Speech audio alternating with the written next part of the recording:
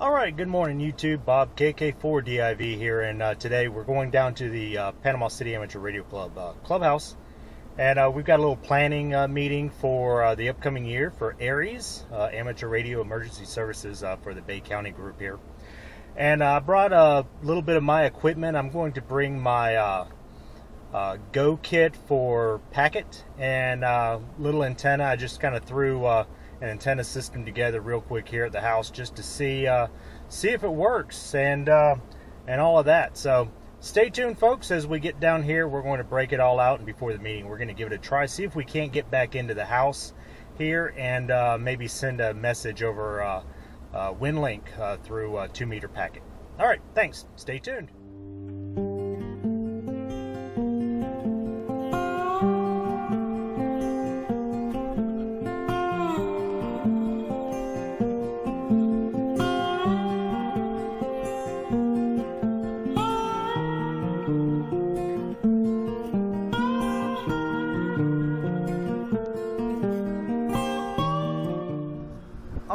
Down here at the clubhouse and we're going to get uh, this packet station set up. So uh, let's see what we can do with this.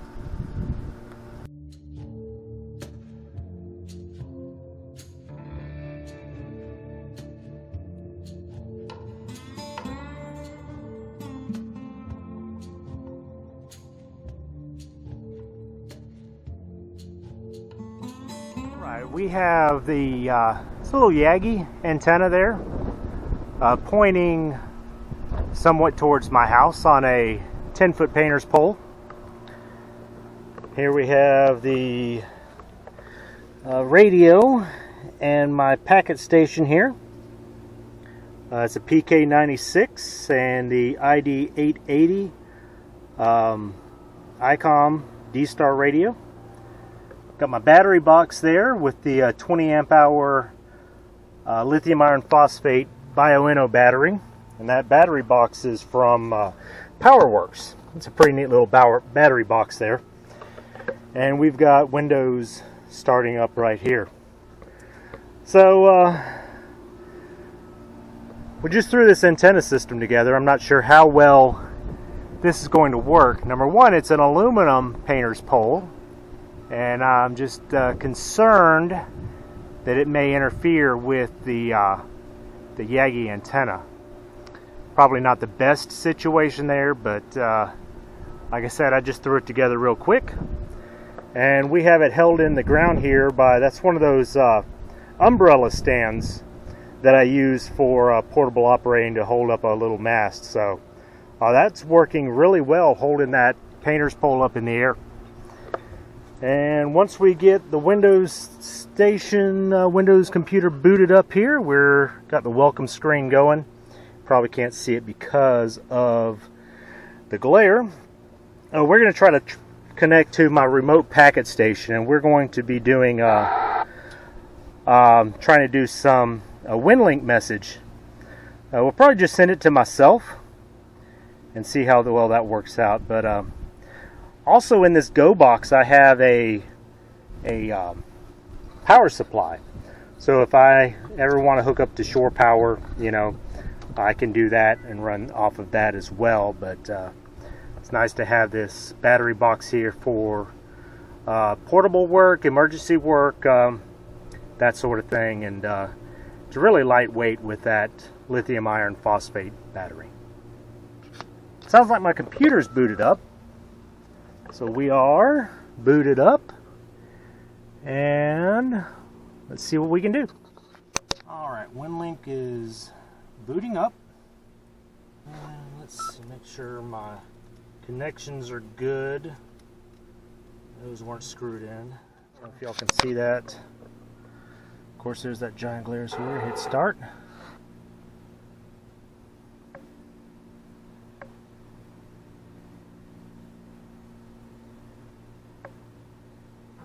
Unable to open COM3. Okay. So which COM port am I on? Control panel. So that's the thing with these uh, USB to serial adapters. You plug it into a different port suddenly your COM port is changed. So let's go to hardware and sound. That's what I need. And we need device manager. And we can go and see what our ports are.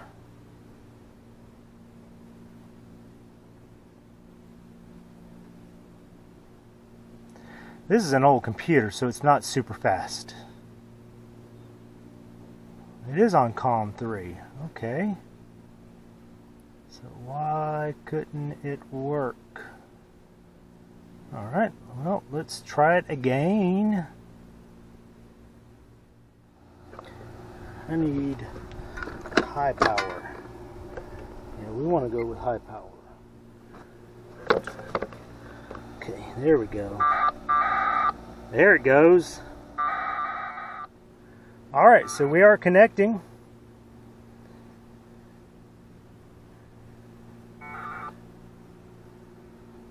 Awesome. So we sent one message, probably a response to W9NDN, uh, since he had sent me a message with a read receipt request. Hello, Matt. Message received. Looks like everything is working on your end. Sorry for the delay response. I have not checked my WinLink account in a few weeks. Guess I should look at it more often. 73. Bob, KK4, DIV. And we're going to post to Outbox. And now we are going to reconnect and send. Start.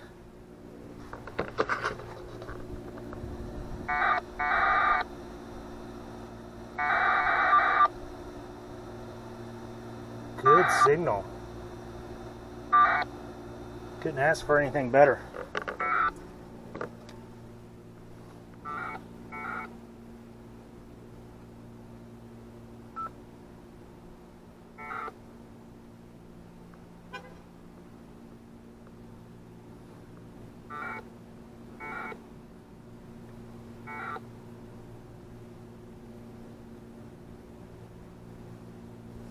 Perfect.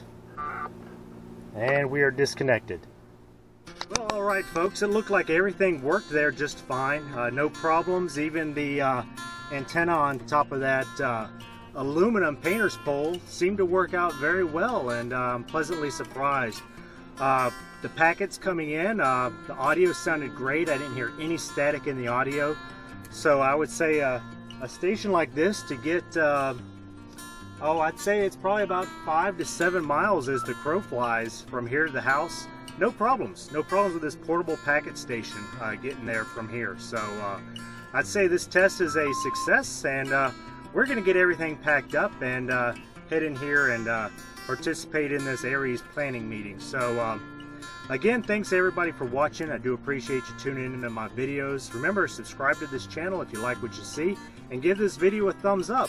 Um, more videos coming soon. I've had a lot of requests for different things. Uh, um, some uh, follow-up videos on some uh, of my prior um, stuff that I posted uh, with satellite antennas and uh, setting up that uh, home bulletin board software.